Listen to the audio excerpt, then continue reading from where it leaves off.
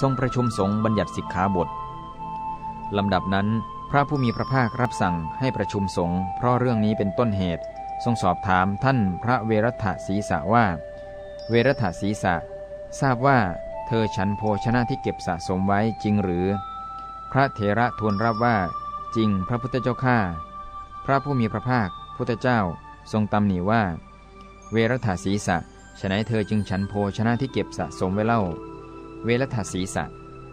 การกระทำอย่างนี้ไม่ได้ทำคนที่ยังไม่เลื่อมใสให้เลื่อมใส หรือทำคนที่เลื่อมใสอยู่แล้ว ให้เลื่อมใสยิ่งขึ้นได้เลย แล้วจึงรับสั่งให้ภิกษุทั้งหลาย ยกสิกขาบทนี้ขึ้นแสดงดังนี้